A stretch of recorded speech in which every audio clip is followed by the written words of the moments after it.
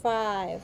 Linda Hurley has suffered from back pain most of her life. The lower back pain is so excruciating. But with the help of a physical therapist, Hurley has regained her mobility and is able to get around with very little pain.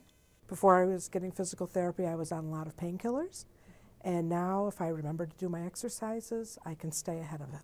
The American Association of Neurological Surgeons says an estimated 75 to 85 percent of all Americans will experience some form of back pain during their lifetime. Back is the foundation of our body. Most pain can be treated through physical therapy, which includes exercises and stretches. Severe cases may require surgery. But there are things you can do to prevent back pain before it happens, such as keeping hydrated, losing weight, keeping yourself active, and not smoking. Some are born with back pain risks.